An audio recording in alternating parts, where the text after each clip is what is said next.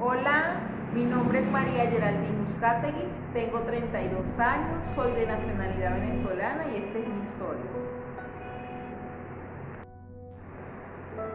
Actualmente resido acá en Colombia desde hace aproximadamente tres años. Llegué específicamente en enero del año 2021. En Venezuela eh, me gradué como profesor en educación especial en el área de dificultad en el aprendizaje y ejercí en una institución educativa pública durante muchos años. Difícilmente me tocó salir de mi país eh, por motivos que todos conocen, motivos de crisis económica. Eh, allá me encontraba embarazada, con cuatro meses de embarazo, casi cinco. Conversé con mi esposo, pues tomamos la decisión de emigrar acá a Colombia. Eh, llegamos a este país sin conocer absolutamente a nadie. Cruzamos la frontera, duramos tres días Cúcuta específicamente sin conocer a nadie. En un momento pues mi esposo estaba muy preocupado por mi estado de salud, mi debilidad, porque en ese tiempo estaba embarazada. Y él se toma pues la iniciativa de en ese momento estaban pasando dos policías en una moto y él los para y le pregunta este, que donde, si acá en Cúcuta había un centro o algún sitio donde nos podían recibir. Ellos nos dieron una información y nos dijeron, sí, claro que sí, cerca de aquí hay un refugio que reciben a los venezolanos y le dan un tiempo de estadía allí. Los agentes policiales ese día nos brindaron la información y nos dijeron, sí, claro, conocen dónde se encuentra pescadero. Nosotros pues sin conocer preguntamos y nos recomendaron el refugio Escalabrini. Llegamos a ese lugar, nos presentamos y nos recibieron. Nos recibieron en el refugio Escalabrini específicamente en Pescadero, y fue la bendición más grande para nuestras vidas, tanto para mi esposo como para mí, porque ahí nos albergaron por un mes específicamente y 15 días nos brindaron una atención excelente, nos brindaron atención de hospedaje, alimentación, nos hicieron en este caso lo que es la articulación correspondiente para hacer el seguimiento de mi estado de embarazo, me hicieron los enlaces correspondientes con los entes médicos, me ayudaron con lo que y aparte de eso pues nos brindaban cada día ese apoyo psicosocial que tanto necesitamos en ese momento cuando venimos de un país a otro país, comenzar de nuevo, no es nada fácil. Nos hicieron asistencia legal, eh, gestionando lo que son los documentos en regla para permanecer aquí en Colombia, eh, específicamente lo que es el salvoconducto.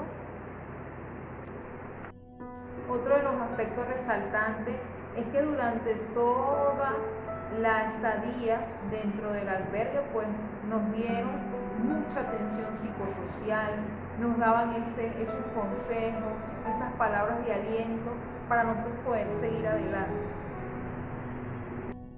Le doy de verdad gracias a Dios y gracias a ustedes porque fue esa primera casa, ese primer hogar que nos brindaron a mi esposo y a mí durante ese tiempo que tanto necesitábamos.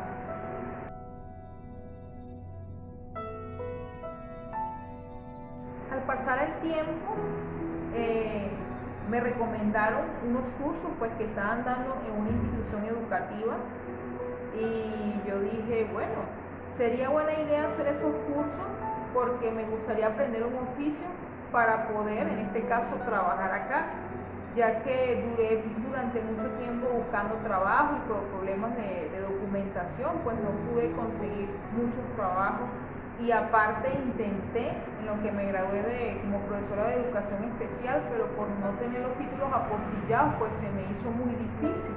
Eh, entrar pues a una institución educativa como tal. Al dirigirme a la institución educativa, eh, para mí, les confieso, fue una sorpresa muy grande porque no sabía que Scalabrini había eh, inaugurado pues una institución que brindaría una formación y cuando yo dije qué casualidad que la misma corporación que me brindó el apoyo inicialmente con la estadía aquí en Colombia, era la que me iba a brindar con lo de la formación. Entonces yo estaba muy contenta pues y me inscribí en ese tiempo en un curso eh, de manicure y pedicure.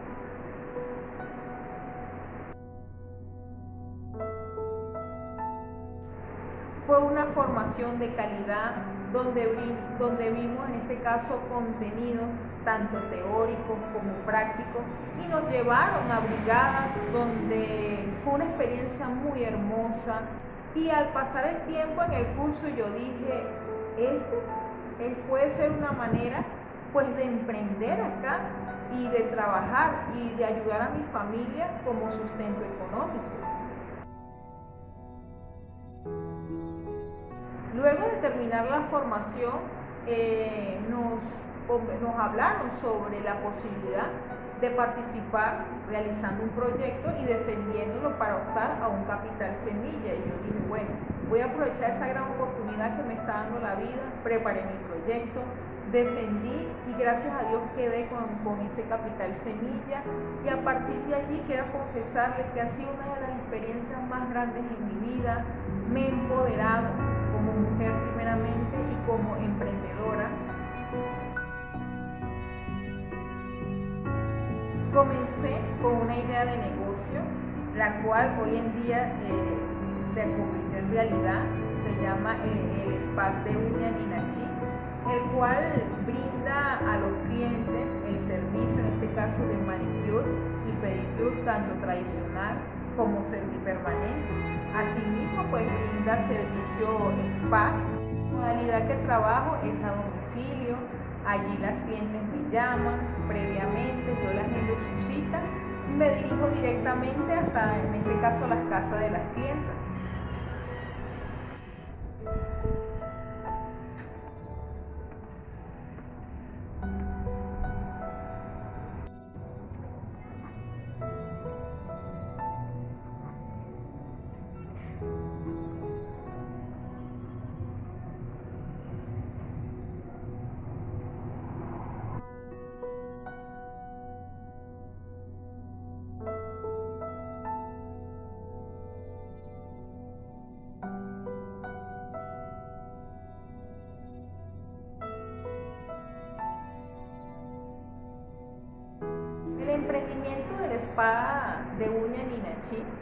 Actualmente tiene ocho meses ya en ejecución, es una realidad hermosa que estoy viviendo. Allí trabajo eh, con servicios de manicure y pedicure, ya sea de manera tradicional como permanente. Asimismo, se brinda lo que es el servicio de spa. Quiero compartirles a todos que ser emprendedora requiere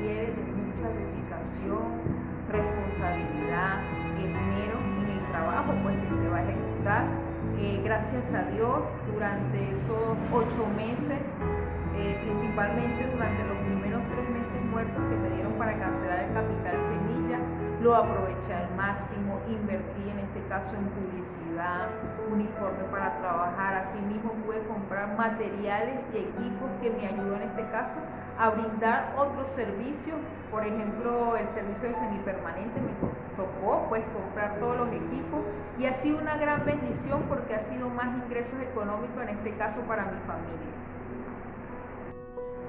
Durante la ejecución del emprendimiento, la Corporación Escalabrini me dio la oportunidad de seguirme formando y no solamente hice el curso de manicure y pedicure, también hice el curso de peinado, corte y cepillado, metría.